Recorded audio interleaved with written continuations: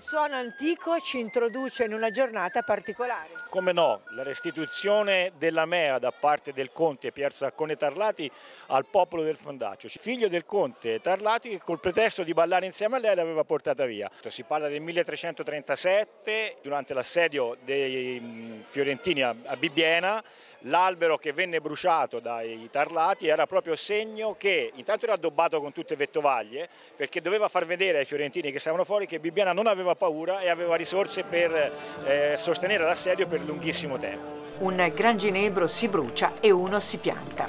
Bello Pomo ha ritrovato la sua collocazione naturale eh, dopo la pandemia. Quest'anno ritrova la sua normale collocazione Piazzolina, dove è la piazza che divide i due rioni. Quindi auspichiamoci che anche quest'anno ci sia una bella fiammata, che questa pianta possa bruciare bene e da qui che sia una buona annata per tutti. Torniamo qui in questa giornata del martedì grasso che per, per Bibbiene e per il Bienese è una giornata davvero di festa, di comunità, è bello poter vedere tutte le persone oggi qui presenti, tantissime insieme ai bambini, le famiglie, insieme all'Associazione Carnevale Storico che devo ringraziare perché dietro il lavoro dei volontari c'è tutto questo, ovvero la vita della comunità e di festa. Cosa importante è che oggi abbiamo una bella mea, quest'anno abbiamo Elena. Sì, Elena Gentile, una bella ragazza che rispecchia proprio la nostra tradizione di ragazza popolare, una bella mora, eh, quindi siamo contenti che Elena abbia accettato questo ruolo. Eh, bene, ci auguriamo che tutto proceda nel migliore dei modi, siamo contenti per le edizioni che abbiamo fatto nei giorni passati, praticamente una bella giornata domenica, eh, con tanti spettacoli e oggi chiudiamo questo nostro carnevale storico di Bibbiena con questa accensione del bello pomo. La cosa curiosa è una sola, ma come mai ci dimentichiamo sempre di Francesco? Di Francesco? Eh, Cecco non si può dire in televisione forse, però in un certo senso era rimasto vecchio e bastonato. Gli avevano portato via la ragazza, gliel'hanno restituita in abiti nobiliari. Che cosa avrà voluto dire? Io mi fermo qui, lascio all'immaginazione del pubblico.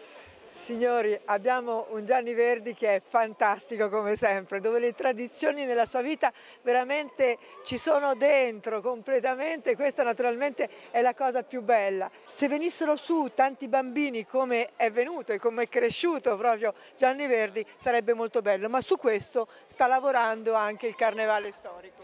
Sì, quest'anno abbiamo coinvolto le scuole primarie e secondarie eh, con un corso dove abbiamo portato musica, eh, la nostra tradizione eh, all'interno sia delle scuole elementari che delle scuole medie facendo vedere proprio e illustrando quello che era la tradizione, quello che viveva realmente ecco, la nostra cittadina in quel periodo medievale, un periodo che forse è anche ormai lontano dai nostri tempi e quindi anche antipatico può risultare da studiare. Se però questa, questa cosa si abbina a una tradizione ben precisa, un qualcosa che succedeva realmente in quel periodo, forse diventa anche più bello. E i ragazzi sono appassionati e oggi ne hanno dato dimostrazione in questi giorni, vestendosi e aderendo in tantissimi alla nostra manifestazione.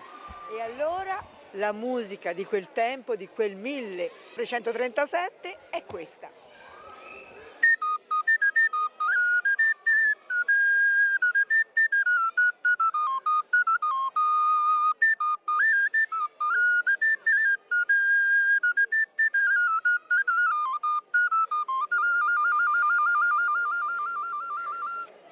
Dame e cavalieri, genti del loco, genti del contado, lo nobile signor di Petramala, Pier Saccone Tarlati, signori di questa terra, ordina che pace sia fatta tra rioni della piazza e del fondaggio e che la bella mea al suo cecco sia ridata. Orso dunque, inizio ti dia alla gran festa, con giochi, canti, suoni e danze e ciascun prenda il suo posto e sia contento con l'augurio a tutti di un buon divertimento. Il vicario Messer Lorenzo della Iaccia.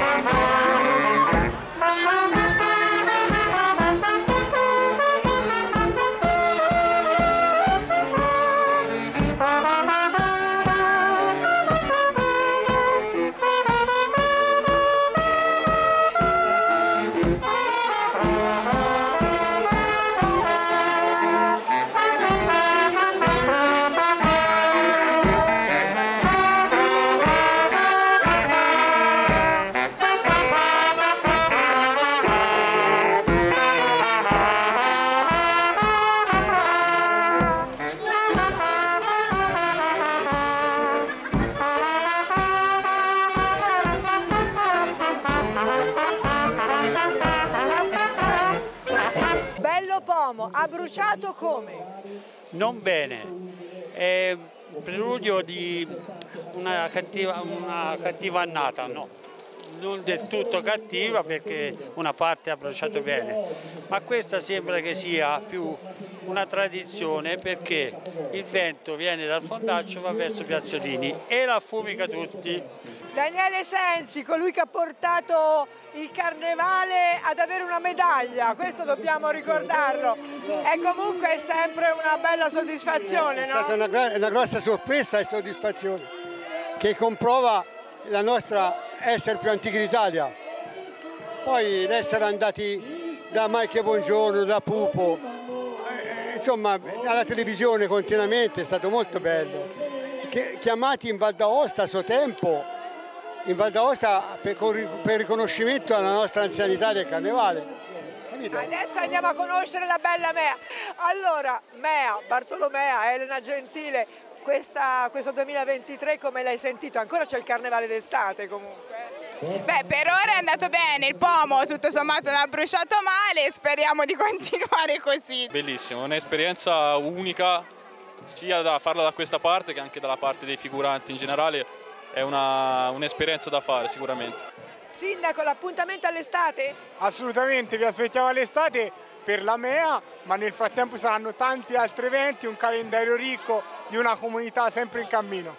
Dal bello pomo si traggono gli auspici per il nuovo anno e quest'anno purtroppo non ha bruciato bene.